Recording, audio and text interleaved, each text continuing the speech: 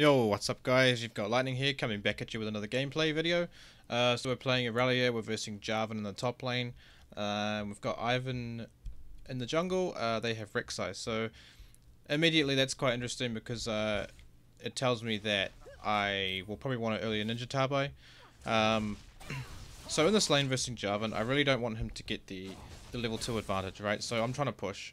Um, that's why I started Q. Normally I'd start E uh, ideally versus a, like a melee matchup. But I started Q.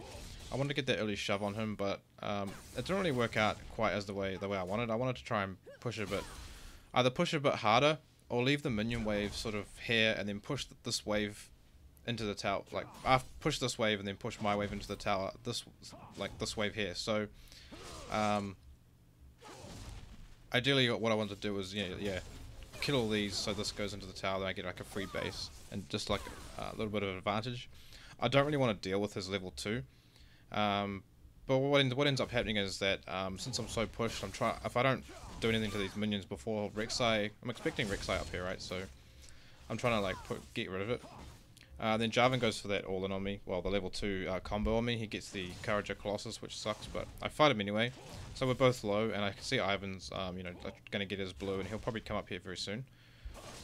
I flash the EQ combo. Luckily, he gets the level 3 level up, which is a bit of a shame. I could have got like another auto worth of damage on him. But um, I know Ivern's on his way, so I'm trying to sort of keep this guy keep this guy hungry for a kill, right? So I just walk up to him and E him straight away. Um, I made a mistake here, right? I'll just pause it. What I did is I leveled up my Q twice instead of leveling up my W. I meant to WQ this minion right here and kill it. Left it on 11 health and I didn't get my Q reset. Um, and that means that right now I can't I can't gap close to Jarvan. If I could gap close to Jarvan, we would have got the kill.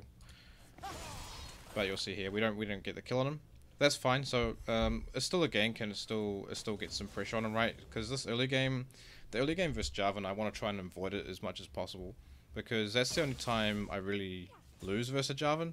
So I really appreciate the Ivern gank, and I can see him. He, I communi- I was communicating with him in game, and he he's telling me he's going to come back. So he ends up coming back top. So I'm trying to like bait the Jarvan into getting really hungry for the kill. Um, but I don't want to make it that obvious that uh, I'm getting some jungle assistance. so it's a bit of a mind game really. But um, so Jarvan goes in here and misses his combo, right? So I go in, Ivern shields me straight away, and that's when we start fighting. Uh, it's a really close. He, he flashed and then he cancelled his auto or something, right? So I just take the opportunity to like Q into him and um, get the kill. So this gank right here, if you look at it right, we press tab. Uh, I got 19, 20 CS, Jarvan has 11. Um, he's used his TP, I still have mine. Ivern's going to help me shove this into his tower. Um, so ideally he's going to miss some minions if we go F3. We can see he's coming back to lane, but he's going to miss quite a few. of Well, he'll probably miss the cannon, but he won't actually miss too much to be honest with you. But look at the advantage, right? So I'm on 1700 gold. He's only just hit a 1000 gold. So just off that one gank, if we look how the game's going right now, you can see that uh, obviously I'm ahead of the Jarvan. And he just got back to lane now. So the Jarvan just got back to lane. He missed the cannon. He's level 4 and his XP is like a quarter of the way, right? So uh, I'm TPing and I'm level 4. I'm almost level 5. So the XP advantage is quite significant right now. And my back compared to his, I got the Phage. He only got a longsword, right? So I, I generally win any trade. So even though he got his EQ combo and Colossus on me, um, I was still able to win that trade right there, right? So right now, all I have to do, since we both have no TP, is just keep the pressure up. Um, but what I do this game is, since uh, I wasn't too confident on killing him so early, um, I decided to sort of do some like minion wave management, and it sort of it really paid off, right? So as you can see right now, um, the wave's pushing to me, right? Um, he needs to push this into tower. He really needs to push it into tower or he's fucked. So what he will try and what he did try and do was sort of use his E and his Q to sort of try and push the wave, but it wasn't, he couldn't push it fast enough. And at this point with his longsword back, you know, um, and my phage back, he wasn't able to um, really come up and contest the minions. So he backed, right? Yeah, he backed and he got a uh, rejuve bead and a boots. Um, good on him. But that still doesn't compare to my phage, right? So no, right now he's losing a whole wave. Okay, so he just lost basically a whole wave, and he's he's still coming back to lane. You can see he's still coming back to lane, just getting to his tower, right? So I'm a whole wave ahead. He's still he's level five, but I'm almost level six, right? So I'm almost a whole level ahead. And if you look at the gold, uh, 2300 to 1300, so I'm a thousand ahead already, just just from um, minion management, wave management, and the lane's still pushing in. So he's almost missed two. Where is he? Oh, he must have. I wonder if he did a camp or something. I don't know. So as he comes back to lane, straight away I go on him. I did miss my Q. I that was a mistake on my part, but if I did get that Q, I would have tried to Q auto him again to chunk him a bit more. Ideally, what I want him to do is come back straight back to lane, use all of his uh, corrupting potion stacks, um, and then and then, so he's got no sustain after that, right? So, and then just keep poking him away, uh, getting getting a combo on him, and then um, making him back off. See how he has to use his Q and his E to to push the wave, right? To farm the wave. Um, that's just costing him so dearly, his mana pool and also his health pool, because when he uses E or his Q and I have an opportunity to go on him, he's got no escape. Remember, if he, he needs E and Q to get away. So if he uses either one of those abilities to farm the wave, to try and push the wave in right, I, I can go on him straight away. He uses E just then and I go on him straight away. Because what's he going to do? If he Qs me, whoop-de-doo, it's a little bit of damage, but he can't he can't proc his Colossus. Remember, the only way that Jarvan can proc his Courage Colossus right? Is, is if he hits an EQ combo. That's why if I played if I played Jarvan jungle, uh, I never go Colossus. I just think it's it's shit. Uh, so it's too conditional, right? That's why. That's also why people don't play Irelia. Irelia's E is too conditional. Like the person has to have higher health than you to get the stun. Whereas with Jarvan, you need two abilities to connect and then connect onto a person to actually get the the Courage Colossus, you know, um, shield. It's too conditional, right? So if I'm playing Jarvan, I'd much prefer like Thunderlords or um, Undying Grasp. Undying is it called? The one where you uh, gain health back if you um, auto attack them every four seconds or something like that. That's probably better. Or even Thunderlords if you're going for like a full damage aggressive aggressive sort of build. Um, see right now, I've backed. So yeah, I got my Tabis right. Remember how I was saying like um, they have the Jarvan and the Rek'Sai. Um, then Twitch is also ADC. I can't change that unfortunately, but um, with the Twitch ADC, you know, the three main AD threats, uh, two of those threats are going to be um, potentially in my face early game, like at this this point of the game, because the jungler and the top lane, obviously. So the early Tabi basically helps with you know the survivability, me taking less damage, but also Jarvan's so far behind that he doesn't have the items to put damage out, uh, enough damage out to, to kill me, right? So that gives me the opportunity to further freeze this lane. Um, I wasn't really focusing on uh, trying to like use my TP to make plays in bot lane this game. Uh, I, I probably should have. There was times where I probably could have got a good TP off, but um, I was more focusing on just taking the Jarvan out of the game because my my bot lane wasn't doing too badly. Like they did they did die, but um, yeah, that was just from a gank, so that's fine. At this point, I'm just focusing on uh, getting this Jarvan uh, as weak as possible, trying to take him out of the game. Didn't get my Q reset when I went in for the combo there. Um, but again, um, the wave's pushing to me still. Uh, is it? Uh, I think I broke the freeze now. Okay, so since I broke the freeze, I push it straight into the tower. So what's he doing? He's just sitting there. He's all healed up and stuff, right? So I push it straight into the tower. Um, it gives him, it does give him some CS, but it also keeps the pressure on him. And Rek'Sai's got to make decisions, right? He's got to make a decision. Uh, do I come top and help the Jarvan, uh, or do I put pressure on the map elsewhere. But Ivern's doing a really, really good job of like invading Rek'Sai, as you can see. He killed him there. Nice job. So yeah, so yeah, like the, even the jungle matchup is so he's so far behind. Oh, he's already 400 behind, right? So since Ivern's doing a really good job in the jungle, it just gives me the freedom to do whatever I want with the Jarvan. And if Rek'Sai does come top, they're not going to be able to kill me because Jarvan doesn't have enough damage right now um, and I'm too far ahead. And the Rek'Sai, you know, he's only got his one item at 10 minutes. He's level he's level six to my level eight. You know, uh, he's he doesn't have enough items. Because I got the Tabi, you know, that helps me out a lot. So if they if I do get ganked, I don't think I'll die. See what what what we look what we take just now, right? Uh, Ivern managed to kill Rek'Sai, take his wraiths. Uh, we just took his red, and now Ivern's going to take his take his golem. So that's half of his jungle gone just just from that death. Puts him so far behind. And now we're looking for a gank on Jarvan to see if he comes misses that. So we don't we don't after he misses that we don't try and pursue it or anything. We just accept that he missed it and then move on. The wave's pushing back to me again because it rebounded off his tower, right? So and then he used his abilities to farm that wave, so it pushed it a bit too fast. So now it's pushing back to me. Check another look at the CS, right? So 95 to 45. That's a 50 CS lead. That's that's quite insane. That's that's yeah. It just means he's conceded the lane already.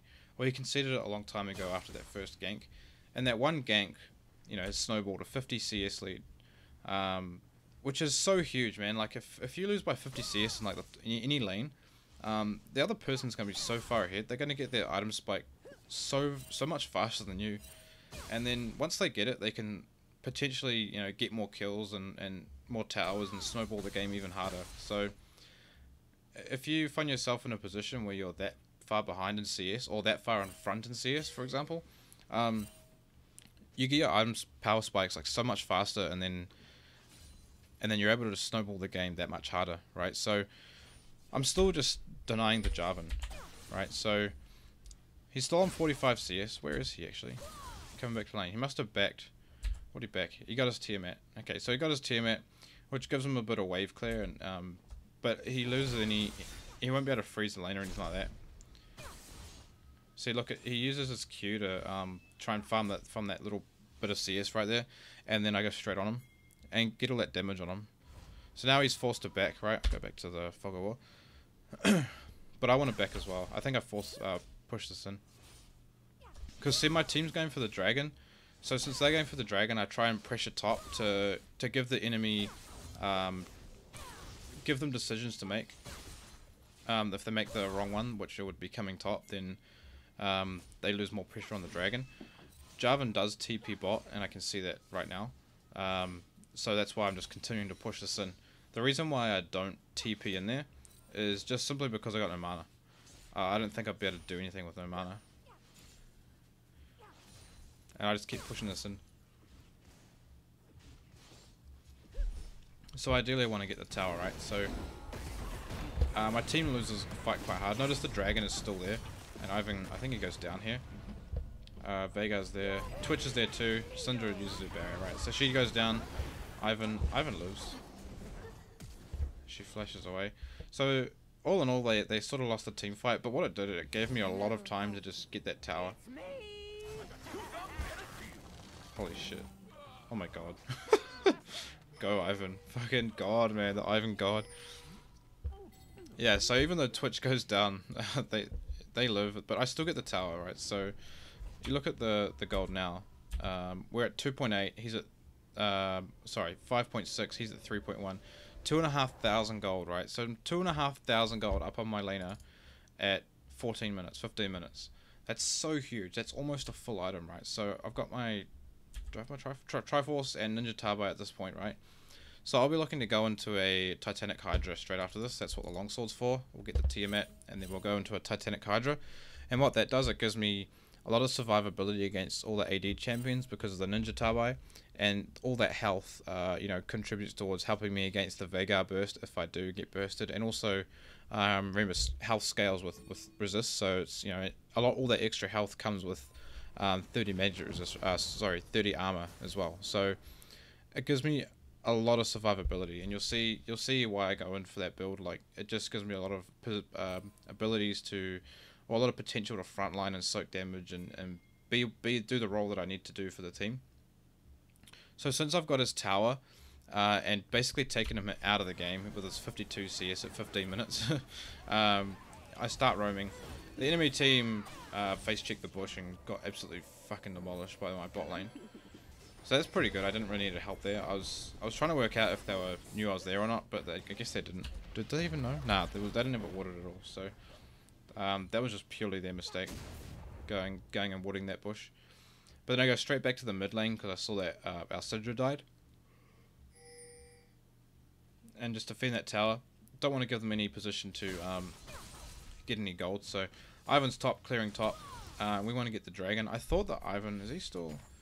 It took a while to clear that CS, but that's okay. I thought he would have just sort of cleared this as much CS as he could, then come for Dragon, but that's fine. They're not really in a position to to take this dragon away from us. And he, Ivern was telling us, oh yeah, I'm not there, I'm not there. Well, probably should have been there. It was quite an obvious uh, objective choice to make at that point. So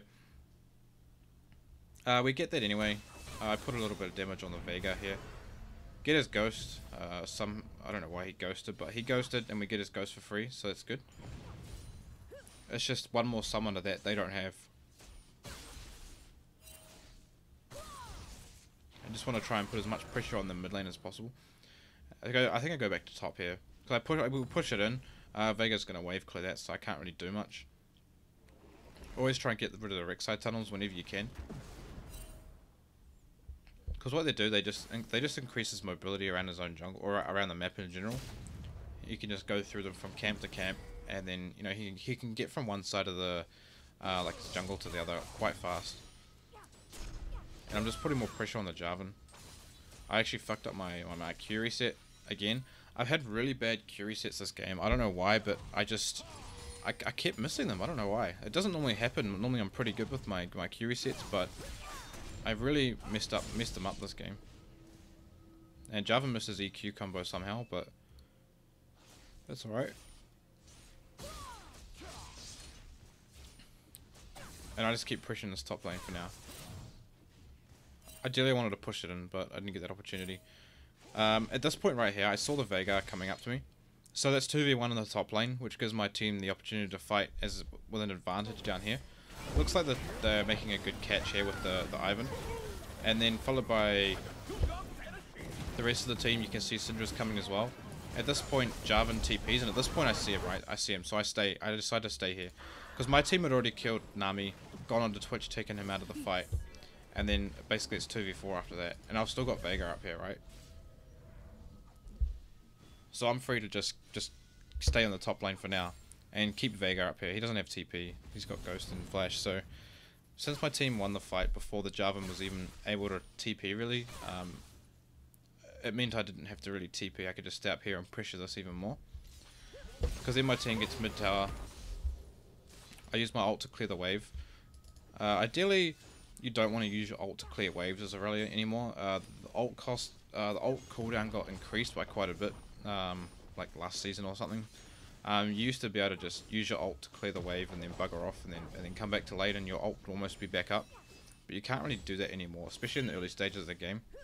Although in this situation here, since my team was pressuring this so hard, um, and they got two mid towers, I was able to just get this on the side. So we just got three towers, one a fight, and by this point, we're so far ahead. Uh, what are we? So I'm 7.7, Jarvan's 4.6. So I'm, that's 3k, 3k ahead. And that's all from, you know, I don't, I don't, I don't have heaps of kills. Um, all I'm doing is out CSing him. And he, he's 190 CS behind. Um, he's got a kill and two assists. So in that, in that regard, he's doing better than me. But I do have five towers my, under my belt, right? I did get first first blood tower here. So we got like 650 gold from there, or uh, is it 500 plus the 150? I can't remember exact numbers, but um, we got that gold and then four other towers. One, two, three, four towers, right? So that's all just tower gold, right? All that 3k is basically tower gold. And, and CS, and CS. So that CS there, being 100 CS up accounts for about almost 100, almost 3k, I think. So, well, it can't be 3k, because I'm 3k ahead. Must be like 2k and then 1k for towers or something like that. I don't know the exact numbers, but if I did know them, I'd, I'd um, I'd, I'd, I'd be able to calculate it a bit better. But um, that's fine. So we know we're so far ahead just simply by, looking at the CS, right, and the and just knowing that we've got five towers and they don't have any. Uh, yeah, they got zero towers, right? So let's see. Let's check out what I'm doing. I'm down bot. I think we're chasing Twitch. Yeah. See this fight? I was trying to Q over to the Veigar, but I got stunned by his E. Unfortunately.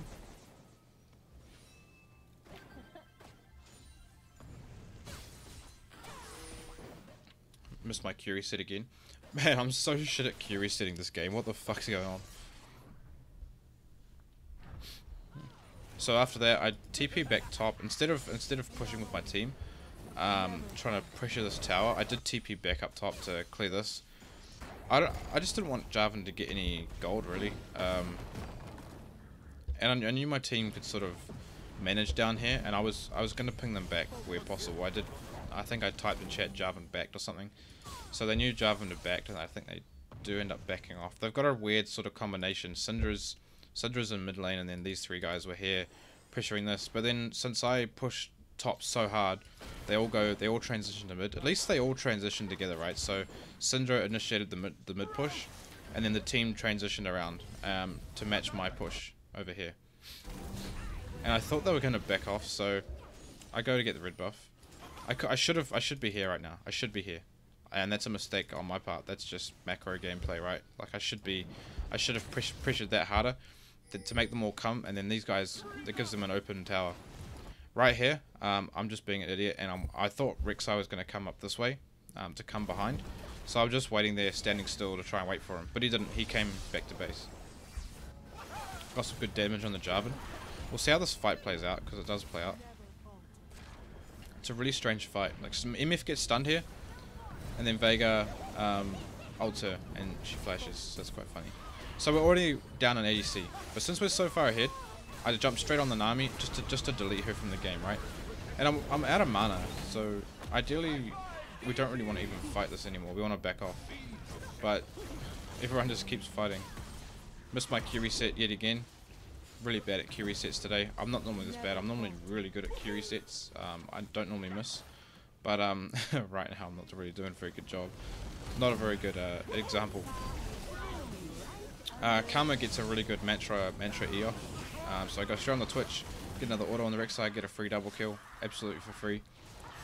Um, that, that gives us free damage on the tower, so we, we could just push this. Though I do help the um, Ivern kill the uh, Jarvan. I'm just waiting for enough mana for my Q. I think I have it now. Yeah, there we go. So then we can get this tower.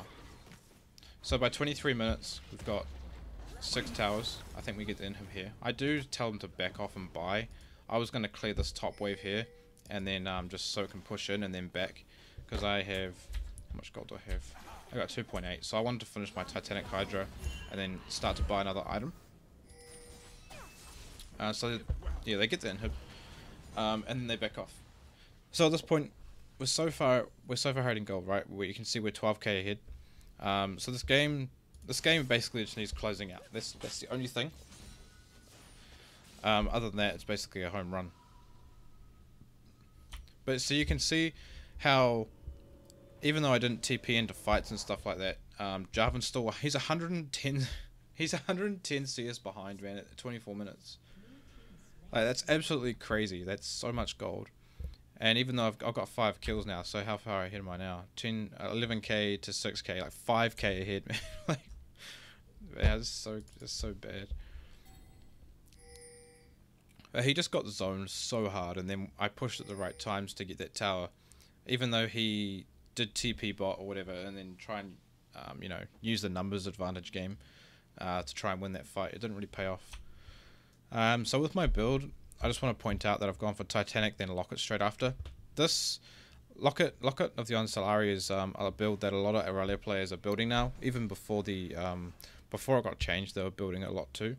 Um, just because it's such a cheap item, and the base look at the stats it gives you. It gives you 30 armor and 60 magic resist. So if you add on your 30 armor from your Ninja Tabi, that's you got 60 armor and 60 magic resist, along with all this health. Okay, so you got the health from the the Titanic and the health from the Trinity Force. That gives you an extra 700 health. And then what a lot of players will do after this, they'll build a Black Cleaver. Um, especially if you don't have um, like a Black Cleaver champion on your team. Um, if you've got like a Lucian or something, you probably don't need it. But um, if you if you've got like a crit ADC, like um, for example, I got MF. She normally builds Black Cleaver. Oh, she didn't build it. She's building like full bloody um, lethality. Because with Black Cleaver and Titanic Hydra, the splash the splash from Titanic um, can get the Black Cleaver stacks onto a lot of their team pretty quickly. See how it's splashing? So you can get the Black Cleaver armor shred on, on a lot of their team pretty quickly in a fight, especially with your ult as well, um, since you know it's all AoE, right? So that's the idea behind it, and it gives you more health. So the new locket, the way it's based is now it gives um, the shields based off your max health or bonus health. I can't remember which one it was. Um, but the more health you get, the bigger the shield gets. And you have you have to have quite a bit of health for the shield to be really effective. But the item in itself, with the resistances, uh, is still is still really good, right? So if you if you shield sort of two or more people, uh, the item is worth. Uh, I don't really get to show it off this game because I think there's only one situation where I really use it. Um, but it's just a good it's a good it's good resists to complement all the health you've built. And then in, in, your runes you can run like health per level and like an AP matchup or something like that and then give that'll give you even more health. But uh, with the cleaver that gives you uh, I think it adds up to like 1100 health. Um, that's bonus health, right? So at that point your shield, you know, will shield for a good 500 or 600 almost at late game. Um, which is almost as much as the old locket uh, base base heal. So it's still pretty good. Uh, it's a nerf for supports, I think, and a buff for sort of tanks or like you know top laners that might build it. So I TP into this fight here. I do use my locket, um, but that just kept all that did would, just sort of it just kept me at full health. I didn't really get to use it very effectively, but um, no matter. Uh, I wasn't really in a position to use it because I was right in the front line. I, I, I basically dove the back line, right? So um, while my team were killing uh, like their team, like they took care of the Jarvan. You know, I, I took care of the Twitch. Uh, went on to Veigar. I got him out of the fight. So a bit of a free game. Uh, after after we got to the point where I killed the Jarvan, um, from that Ivern gank, that Ivern he played like so well this game. Like, uh, what's his name? Volibear, but like yeah, total total credit to you. You played a good game. So clean, as you were saying in the comments. Like the top gank uh, followed by the invading and then um, the counter jungling and then helping the bot lane and stuff like that, right? So after that first gank, denying Jarvan all that CS, see in the end, um, you know, 130 CS up basically, which is so much gold. it's such a big CS deficit. It's, it's just insane. And even though he was TPing, trying to make plays, he couldn't really do anything. And like I, I didn't, I got all my kills later in the game, right? I'd only had one kill uh, up until sort of mid game before I started getting involved with the team. Um, so basically, all the gold that I was ahead by all came from towers and wave management, and that's the power of wave management. If you can get ahead in the lane and zone your laner out to the point where he can't come up to the wave to CS, uh, if he's so behind that he can't make plays around the map and, and snowball the rest of the map, then he's just in. He's in. What does he do? He's in the worst position ever. He has to try and roam with his jungler to do something else, but if if our jungler's there to, to answer that, and he's so far behind, he can't really impact the game too much. And we saw that in this game when they went for the fight and he TP'd late, and the Veigar was still top, and then by the time he TP'd, the fight was already over. So it puts them in a really bad situation where they've got to make quick decisions, you know, hard decisions, because they have to. They're in a position where they can't CS, they're losing the lane. Uh, I'm gonna keep getting stronger, and if they don't do something, um, the game's going to be over. Uh, so it puts them in a really sticky situation, right? So I just wanted to show that video off to so you know show the power of sort of wave management and manipulation of the wave, and how to just zone your your laner out to the point where uh, you basically remove them from the game. But anyway, I hope you guys enjoyed that video. If you liked it, give it a like. If you want more content like this, uh, be sure to subscribe. And hopefully I'll catch you guys in the next video. Yeah!